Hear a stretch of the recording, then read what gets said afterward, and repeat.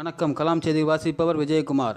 நெல்லை மாவட்டம் மம்பாசமுத்திரம் வட்டம் கடையம் அருகே உள்ள சேர்வக்காரன்பட்டி ஊராட்சி மயிலனூர் கிராமத்தில் பெரிய கோவில் மற்றும் அங்கன்வாடி அருகில் ஐநூறுக்கு மேற்பட்டோர் வசிக்கும் பகுதியில் ஸ்டீவன் மற்றும் செல்வராசன் என்பவர்கள் கோழி வளர்ப்பு பண்ணை சுமார் நான்கு இடங்களில் பொதுமக்கள் புழக்கத்தில் உள்ள பகுதியில் அமைத்து இருக்கிறார்கள் இதனால் பெரிய கோவில் பகுதியிலும் குழந்தைகள் படித்து வரும் அங்கன்வாடி பகுதியிலும் துர்நாற்றம் ஏற்படுகிறது.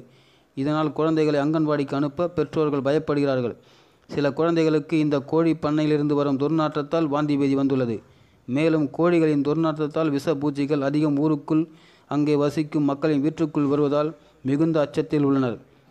இந்த கோழி பண்ணை கடந்த பத்து வருடங்களாக உள்ள நிலையில் கடையும் சுகாதார ஆய்வாளரிடம் ஊர் பொதுமக்கள் புகார் மனு கொடுத்ததற்கு எந்த ஒரு நடவடிக்கையும் எடுக்கவில்லை. என்றும் கடையும் காவல் நிலையத்தில் புகார் கொடுத்ததற்கு கோழி வளர்ப்பு பண்ணை உரிமையாளர்கள் ஸ்டீவன் மற்றும் செல்வராசன் என்பவர்கள் வேலி அமைத்து தருகிறோம். துர்நாற்றம் அடிக்காமல் இருக்க தகுந்த நடவடிக்கை எடுக்கிறோம் என்று காவல் நிலையத்தில் கூறினர். ஆனால் இதுவரை எந்த நடவடிக்கையும் எடுக்கவில்லை. இதனால் குடிசை தொழில் மற்றும் விவசாயம் செய்து வரும் பொதுமக்களுக்கு வாழ்வாதாரம் பாதிக்கப்பட்டுள்ளது. மேலும் இது தொடர்பாக விஜயபாஸ்கர் தமிழக சுகாதாரத்துறை அமைச்சர் அவர்களுக்கு ரிஜிஸ்டர் தபால் மூலம் சு புகார் மனு இன்று அனுப்பி வைத்தனர். வணக்கம். கலாம் செய்திகளுக்காக செய்தியாளர் நெல்லையிலிருந்து பிரபாகரன்.